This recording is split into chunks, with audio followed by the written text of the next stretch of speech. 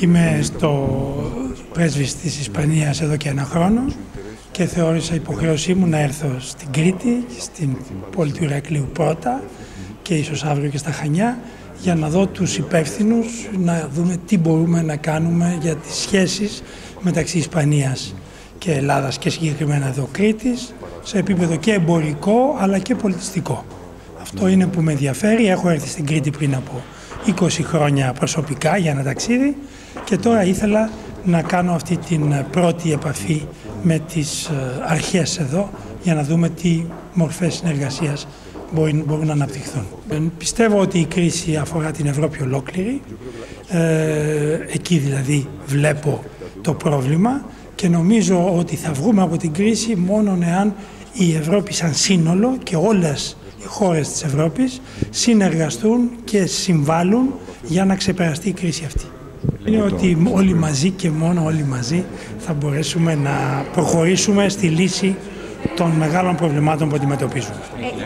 Οι σχέσεις ε, Ισπανίας και Ελλάδας ήταν πάντοτε πάρα πολύ καλές και πριν από την κρίση και κατά τη διάρκεια και τώρα και επομένως αυτό είναι κάτι που προχωράει σχεδόν ανεξάρτητα.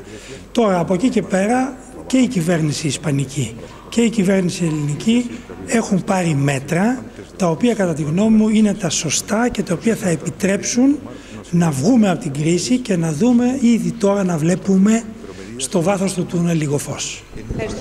Μια συνάντηση με τον Ισπανό πρέσβη στην Ελλάδα για να συζητήσουμε θέματα συνεργασίας μεταξύ περιοχών και περιφερειών της Ισπανίας και της Κρήτης.